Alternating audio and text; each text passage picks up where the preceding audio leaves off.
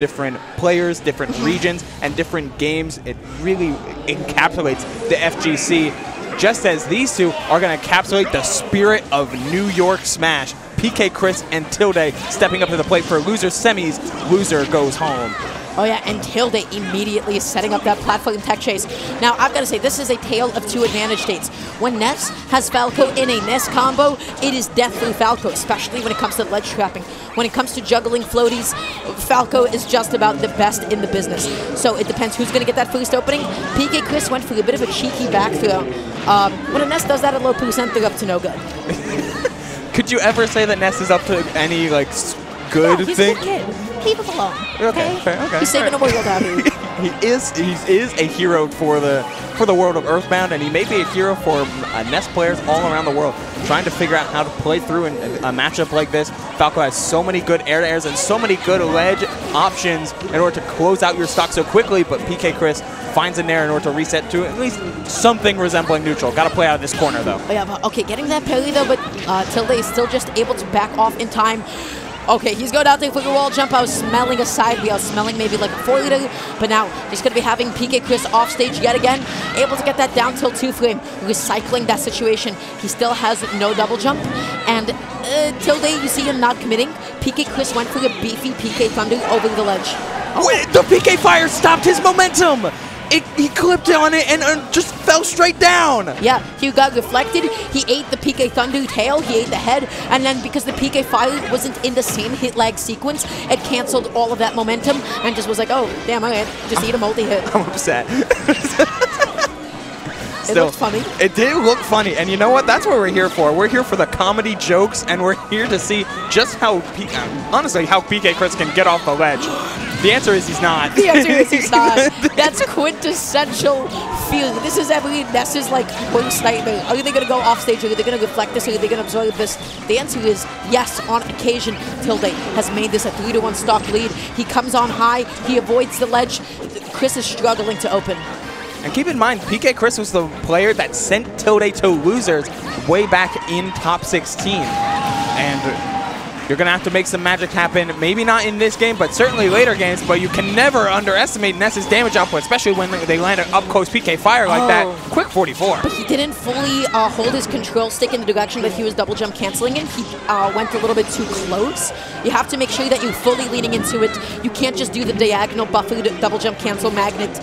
I know this is such niche information, but it's really but it's important, important, to the drift and to other nestmates to get that optimal, delicious spacing. Yeah. Honestly, that's what keeps Ness prevalent in the metagame, in the current metagame, given how there's so many of these characters that can really deny interactions. When you get one, you gotta make it count. And PK uh, Chris, 44 is great, but it could have been so much more. And it that game is certainly so much more. And speaking of being able to take a hit and take it for a mile, Tilde finding a couple clean resets and turning that into a stock. This is the tragedy of being a floaty. This is the tragedy of also playing Ness. And the reason for this is because, okay, so you get hit with an up tilt. Right. Your first immediate thought is, I'm going to just be able to air dodge out of disadvantage. The issue is when you are a floaty, it takes a long time for you to be able to land. And Ness, typically speaking, doesn't want to use up his double jump at disadvantage. He has he definitely struggles to land, especially yes. against somebody like Falco, against somebody with such a potent up tilt. You can't trade on the way down let's say you press neutral and his back heel comes in a little bit before you, you just die. Yeah, and it's something you just have to hold. Pivoting into down tilt back air there on the platform, instantly changing up PK Chris, not allowed to adapt to the situation yep. that got them the stock in game one. So they got to pivot into a different, uh, different environment, looking for the, that forward smash, potentially looking for an air dodge. Either way, But then tries to go for a bit of a cheeky down tilt. I'm not sure if he thought that that would set up into a tech chase. Uh, I believe against Falco it should only become about 38 onwards uh, that it would send him into tumble. But either way, he needs a way to be able to land. Foiled is going to be the move of choice, but he's still not out of the corner. He is not out of the depths. The landing hitbox forcing to take a couple of those lasers going for the PK uh, the PK rocket get, to get back to ledge, not trying to mess with any of these two-frame timings. And I love how Tilde today has been implementing the usage yep. of neutral air. It's a insanely wide, widespread move, intangible wings, and being able to go consistently air to air with majority of the cast. It may not get you the most damage, it may not be the best combo starter at mid to high percent, man, does it set up for great positions. He opted for the juggle instead of a forward throw, like a back throw, just in case Tilde had like opted for like a high recovery at that point in time. So Tilde just being so patient. He's not committing to anything. He gets that neutral air, he doesn't get that neutral air, but PK Chris gonna be punished, opened up for uh, whipping that kind of a dash grab. So vulnerable. Oh, and the Phantasm back to stage. Oh, and the frame that frame one reflect is there, but it's not enough in order DI? to get back to uh, to get, escape the grab from PK Chris. The eye on uh, back throw was a little bit questionable. And you see him going out there. He tries to go for the deflect. He doesn't get it. He ends up getting clipped by that tail, but it's a-okay because that ledge trap is still his. He's able to catch Chris jumping onto the platform unsafely. He's walking in, walking out. That's that kind of non-committal positional pressure Tilde is known for. Oh, and there's the down air on the jump and getting the forward air afterwards after the missed tech. No double jump off stage, but just opts to go for that safe down tilt yet again. He doesn't want that spike yet. Another forward air. Look at that. Wow, but missing another one of those two frames. They were able to get one in game one, but otherwise have been consistently missing those. There's some of those back, uh, low percent back throws, as you were talking about earlier, Dara, but this is ton of damage. In the stock, even that much rage. That Ness forward smash doing all of the work and putting uh, putting Chris into his first lead of the set. Let's see what he can do with this momentum here, Dara. Uh, the answer is continue to apply shield pressure. He tries to go for the fly magnet, but I don't believe on Falco you can do a fly magnet. You just need to do a hell double jump cancel magnet to actually combo it into the spike. It may or may not, but either way, Tilde catches that jump. He got that forward. Can Chris make it back onto the stage?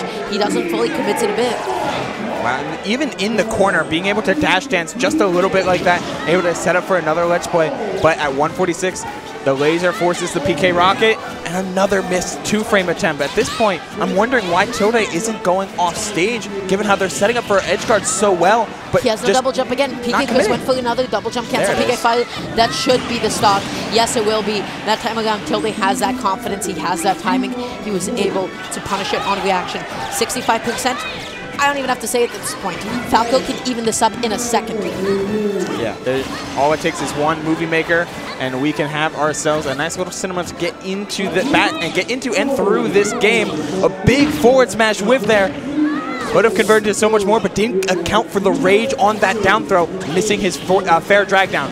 It's fairly difficult. It's fairly technical as is. I don't know if that up angled F tilt was intentional or he wanted to make sure that he was getting a forward facing up tilt. Either way, he gets it that time. Drag downs galore. Remember what we said about damage? Falco can do it all. Tilde can do it all.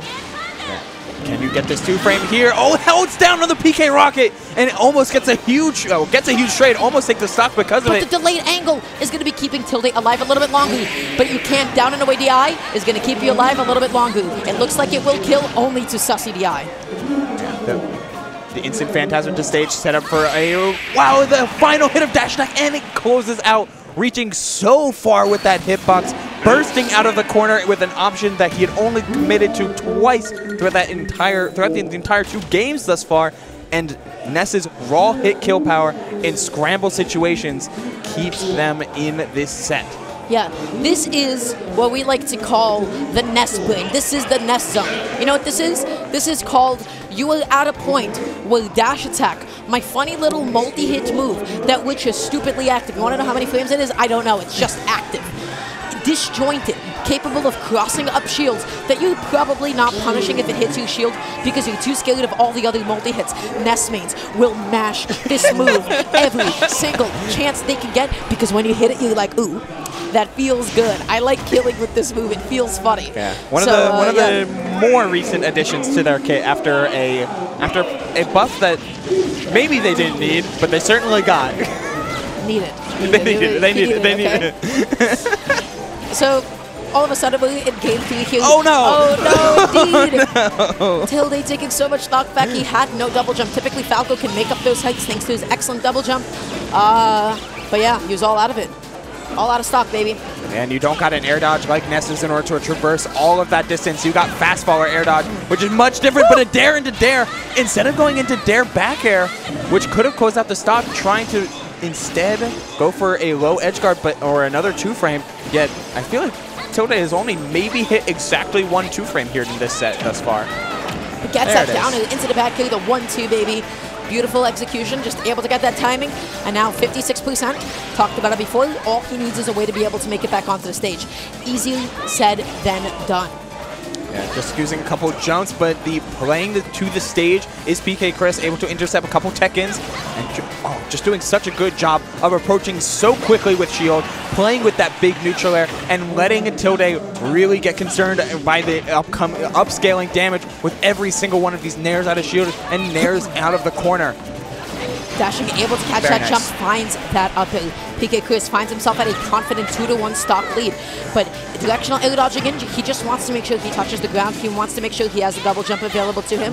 Waiting, good delayed vertical angle on that PK Thunder. Yeah, if there's anything that I've been seeing uh, PK Chris do extremely well, it's when they're recovering with PK Rocket, they do it in such a, like, in, with so many timing mix-ups and so many different angles and bounces and the flexibility that they have with that with, uh, with that form of recovery is really second to none right Oh, now. yeah.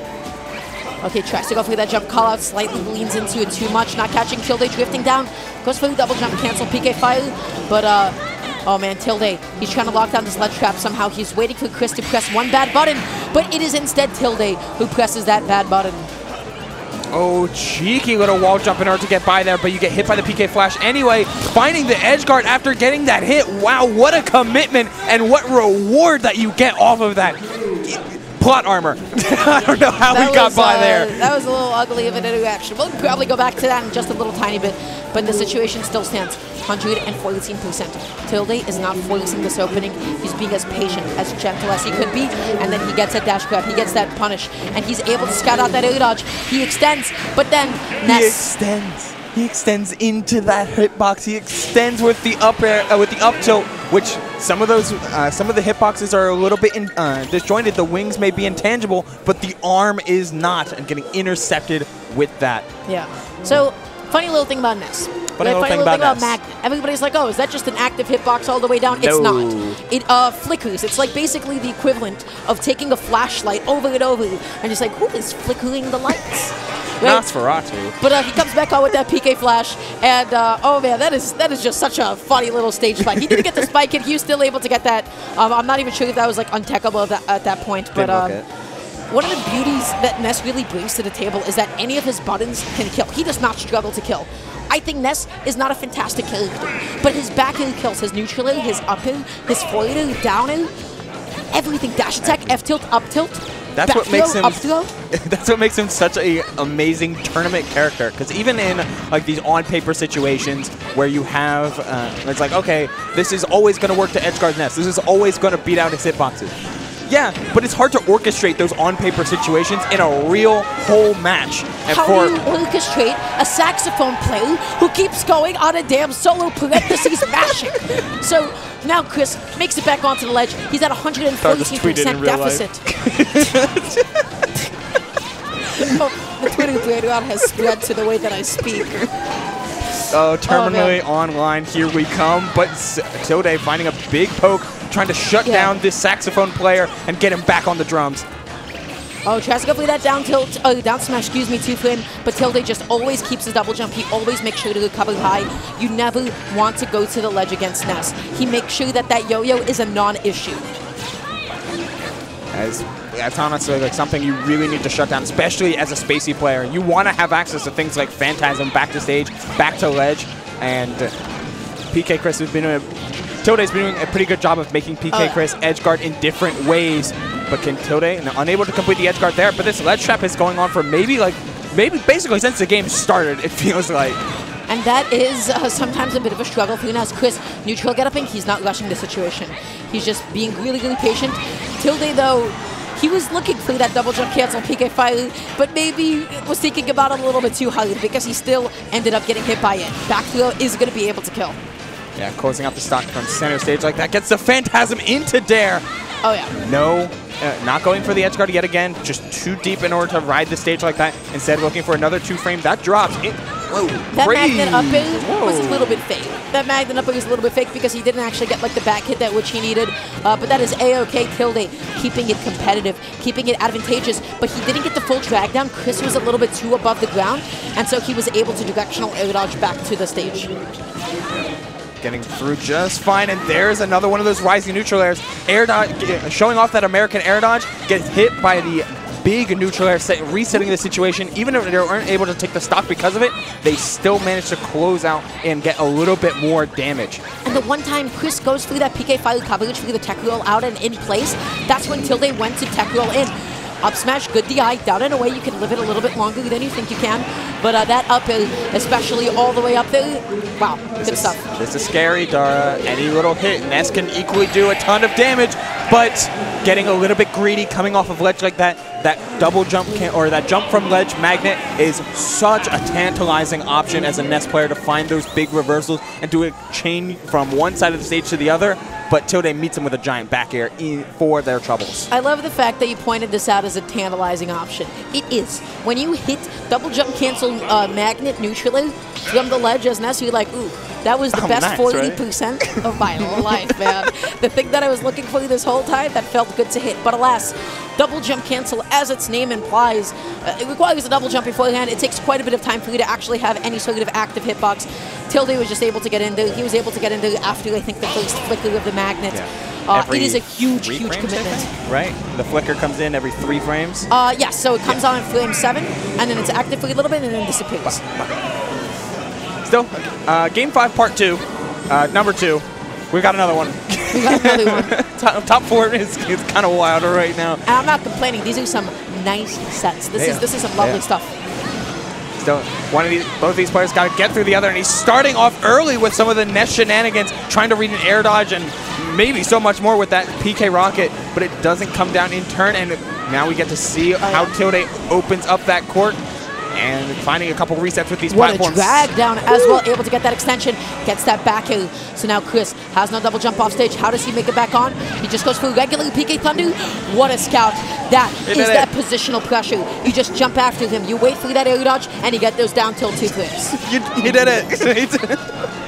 and it's I mean what a time in order to get it. You find that uh, find a big opening here in game five, three stocks to two. You're allowed to play with the lead, play with that advantage, and play with a sense of security whenever you decide to dash back. But Tilde ain't dashing back here. He is pressing that advantage. Yeah, Chris makes it back onto the legend. He's no longer so patient. He double jumped. He double jumped. He went for the double jump cancel PK Fire. He buffered an air dodge. And good old multi hit, uh, ultimate, excuse me, and buffering air dodges out of multi hits. It happens to the best of us.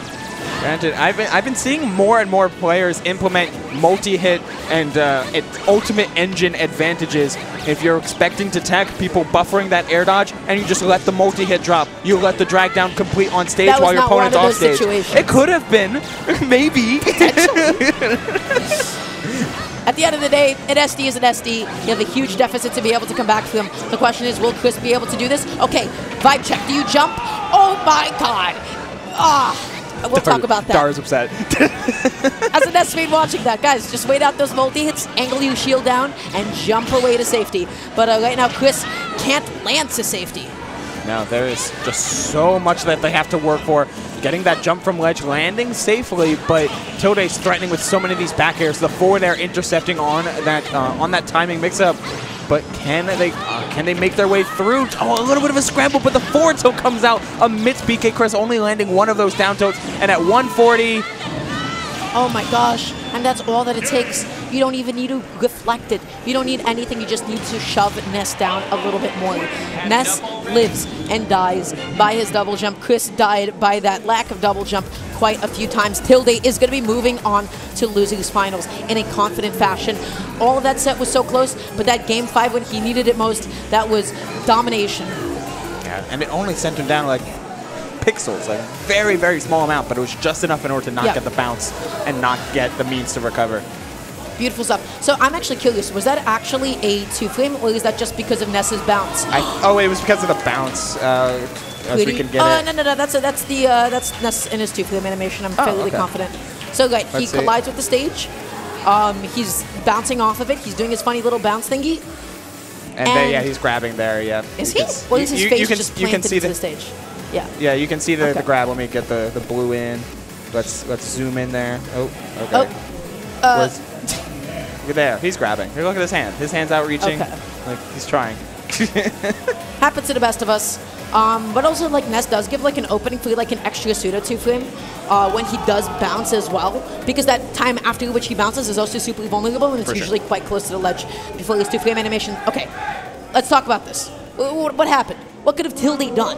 Guys, super classic Ness stuff. It is time for us to learn. It is time for us to learn the counterplay of what you can actually do here. So, Ness's up smash, the hitbox, without accounting for hit lag and for shield, uh, for shield lag, is active for 1.5 seconds, just about, yeah? So he's charging it, he's charging it, Four, and then you just gotta wait for all of those multi-hits to uh, successfully disappear. You have to make sure that you're constantly angling your shield down. You don't want to go before the multi-hits disappear because then Right. it'll stuff out the startup of your goal animation. You don't want to jump before the multi-hits finish because it'll get you before you know you jump animation fully completes. So wait out the multi-hits, 1.5 seconds plus a little bit of hit lag plus a little bit of shield lag, and then you can roll away, you can jump away. Uh, sometimes if you have like a really fast upbeat, like Game and Watch, Right. uh, that would be also a pretty good time to pop it. I think uh, Tony might have also been counting for the hits of shield, because if your shield gets hit, uh, I believe the number is 11 times, then you roll with frame one invulnerability. Uh, but I don't think only, it hits your shield 11 times. uh, Yeah, it only hit 10 Yeah. is the thing. So, you know, that's kind of you're you're missing that one key number, and Yeah. without that, you lose that invulnerability, which means you cannot roll. So you're better off just waiting out the full timing. Yeah, but